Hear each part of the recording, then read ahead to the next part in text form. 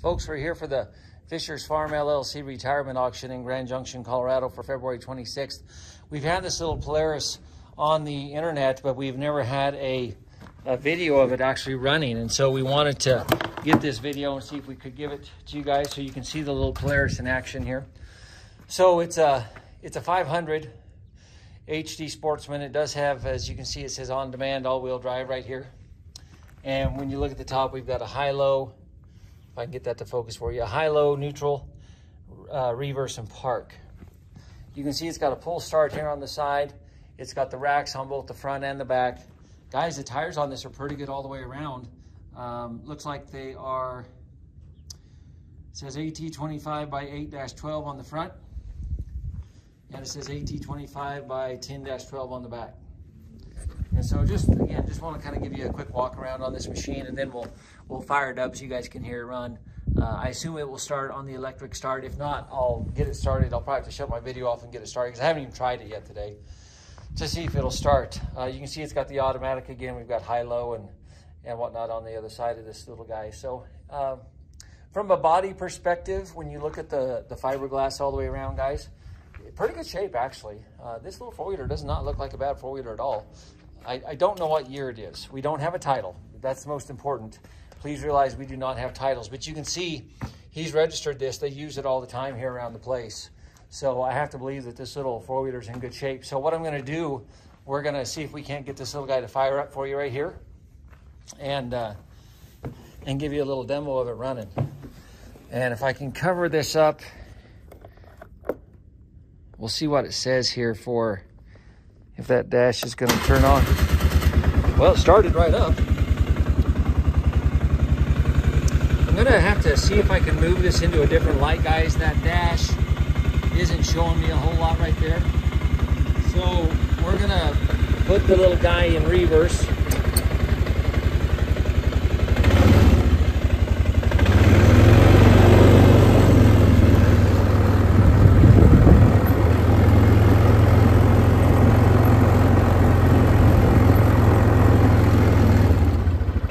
Know if they were running this earlier today or not, guys. That little thing fired right off. That's, that's kind of impressive how easy that started. And um, guys, the the display is not good on this. I think that says 6,300 miles, maybe. Looks like it says 6,333. How accurate is I, I, I, just don't know, guys. I apologize, but um, we'll, we'll go ahead and buzz around here on this. So I think we're in high right here. And I don't, or excuse me, I think we're in low.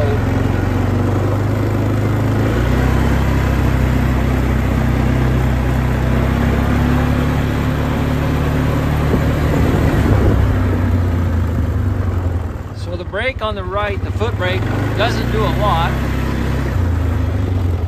And the handbrake works really, really well.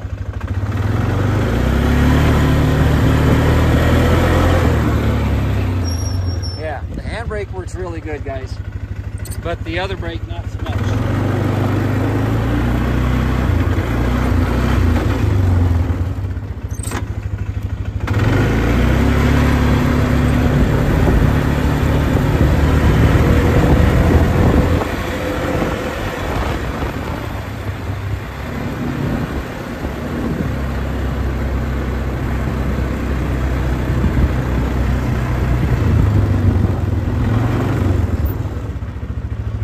Can't I can't seem to get that into high range, guys.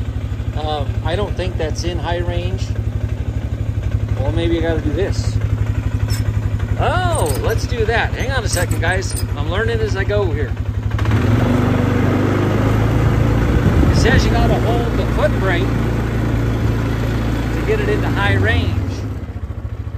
I just saw that. It says you got to hold the foot brake to get it into high. So normally I was getting it right there, guys, which is low. But if I hold the foot brake, now it goes into high.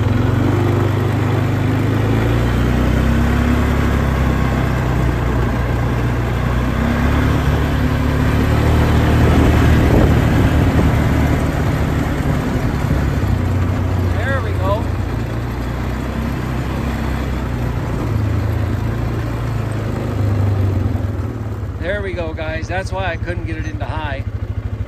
So that's a little four-wheeler. I'll let you guys kind of hear it run here.